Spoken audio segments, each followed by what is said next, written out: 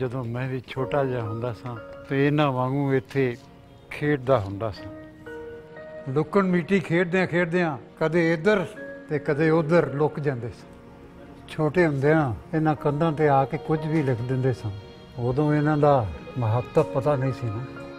ਜਦੋਂ ਮੈਂ ਇਸ ਅਮੁੱਲੀ ਜਗ੍ਹਾ ਦਾ ਨਿਗਰਾਨ ਲੱਗਾ ਸਾਂ ਨਾ, ਪਹਿਲੇ ਦਿਨ ਮੇਰੀ ਡਿਊਟੀ ਇਸੇ ਜਗ੍ਹਾ ਸੀ। ਇਸ ਨੂੰ ਕਿਲੇ ਤੋਂ ਖੰਡਰ ਬਣਦਾ ਵੇਖ ਕੇ ਮੈਨੂੰ ਬਹੁਤ ਗੁੱਸਾ ਆਉਂਦਾ ਸੀ।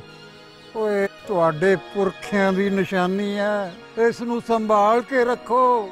ਇਹ ਜਾਣ ਕੇ ਖੁਸ਼ੀ ਹੋਈ ਕਿ ਕੋਈ ਹੋਰ ਵੀ ਮੇਰੇ ਵਾਂਗ ਇਸ ਨਾਲ ਜੁੜਿਆ ਹੋਇਆ ਤੇ ਇਸ ਕਿਲੇ ਦੀ ਮੁਰੰਮਤ ਹੁੰਦਿਆਂ ਦੇਖ ਮੈਨੂੰ ਇੰਜ ਲੱਗਦਾ ਹੈ ਜਿਵੇਂ ਮੇਰੀਆਂ ਬੁੱਢੀਆਂ ਹੱਡੀਆਂ 'ਚ ਫੇਰ ਕੋਈ ਜਾਨ ਫੂਕ ਰਿਹਾ।